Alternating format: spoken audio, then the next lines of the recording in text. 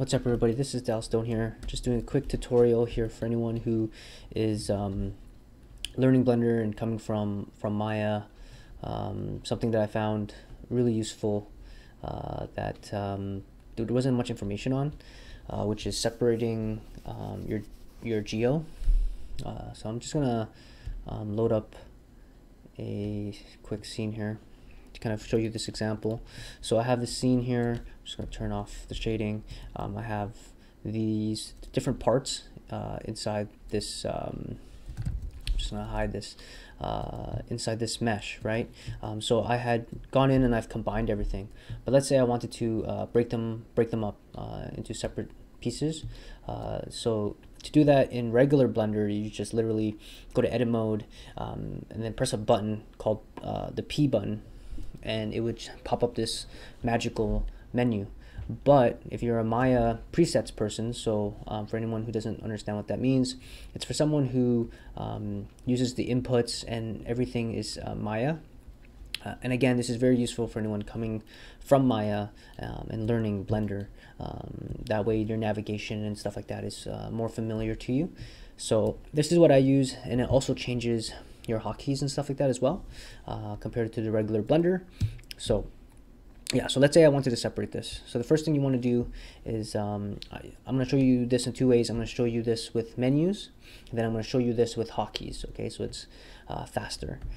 So first off, you want to go into um, edit mode, okay, uh, and then I'm going to right click, or actually hold on, no hotkeys, and then I'm going to go to uh, uh faces, okay? Uh, you I'm to select everything.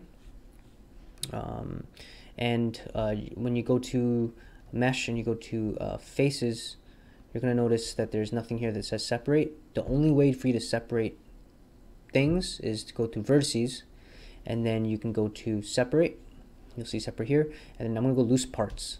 And what that will what that does now is when I exit out of um, edit mode and I go to object mode you're going to notice now that uh, all my loose pieces. Um, hold on, I have um, my snapping on. I'm just gonna turn it off. Uh, I now have my pieces separate. Any piece that is um, not merged into into the actual mesh uh, has now its own pieces. Uh, something very useful in Maya um, that uh, again was really difficult for me to find here in Blender. Um, so, so let me do that. Oops, sorry. Um, let's just open up this again. Uh, go back to shading mode and isolate that. So let's do that again, but this time with hotkeys. So it's as simple as pressing tab, tab in the Maya presets in Blender. Um, will change the, the different mode. Um, right click, uh, click vertices or face, doesn't really matter um, drag and select. Um, make sure that this is also turned on so you can actually select through the model, okay? Um, and then uh, Control V is for editing vertices. Uh, go to separate and then loose pieces and there you go. Okay, and then tab again to go back to object mode. Um, and then this way you can reselect everything that you want and uh, there you have it. Right, hopefully that helps. See you guys again next time.